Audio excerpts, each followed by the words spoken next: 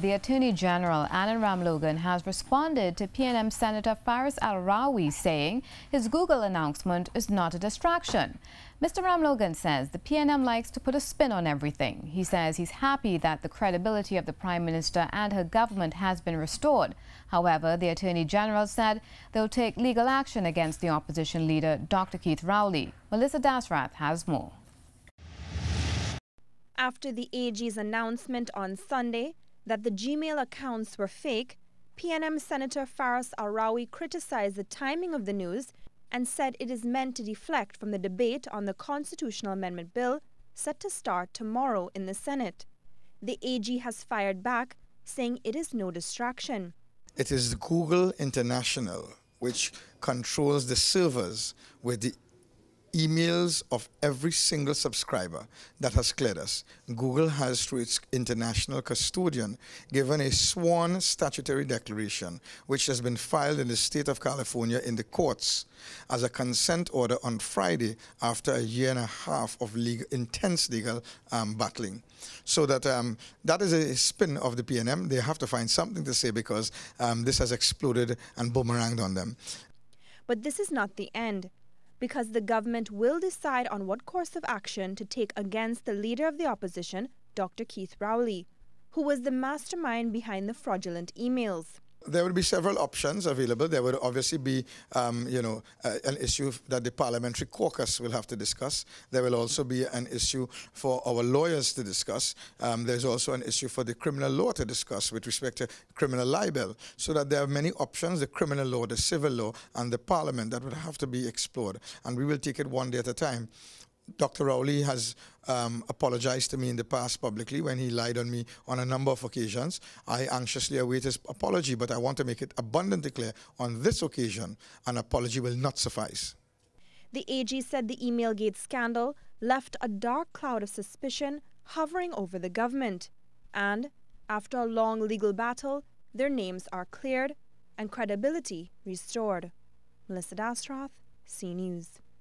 Well, we'll have more on the Attorney General's statements concerning Emailgate a bit later on in the newscast. Joining us here in studio is Attorney at Law Wayne Sturge. Good evening, Mr. Sturge, and thank Good you evening. for giving us some of your time. Now, you've heard what the, and seen the news reports and heard what the Attorney General and Senior Counsel Pamela Elder have said about what Google has found.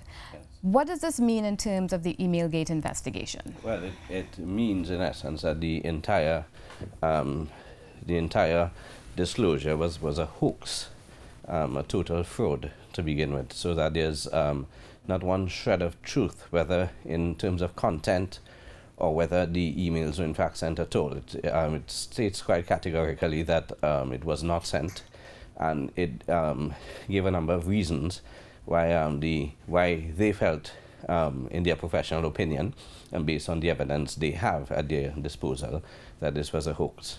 Now, Dr. Rowley has said that he was just presenting content of emails. He says he does not have to prove that the email accounts were authentic. So if the email content comes from a, a fake email account, what do we think about with regard to the content?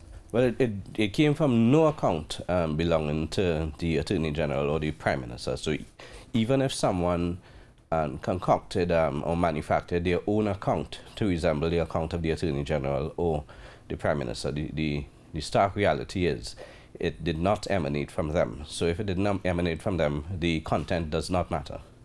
Okay. And what does this mean for Dr. Rowley with talks of the Attorney General wanting to sue him? Well, he's, in, he's entitled um, to sue. Uh, there are a number of other um, avenues in the criminal law um, it's quite clearly a breach of the Integrity in Public Life Act.